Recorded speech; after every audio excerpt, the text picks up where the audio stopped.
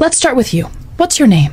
Um, hi, I'm Diego. Hi, Diego. Tell us about the last time you felt anxious or uncomfortable. About five seconds ago, when you asked me my name. Tell us about the last time you felt relaxed and at ease. Um, like 10 minutes ago, when I was not here. Do you often find yourself having trouble talking to strangers? Not really, no.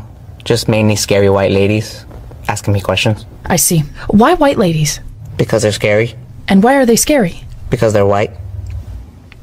Thank you for sharing, Diego. I think that was extremely rude. Interesting. And what's your name? Hi, I'm Sarah. Hi, Sarah. I think it's so unfair to make such a bold generalization. I happen to be kind, smart, and extremely humble, so keep your offensive thoughts to yourself, okay, buddy? Yeah, like I said, scary.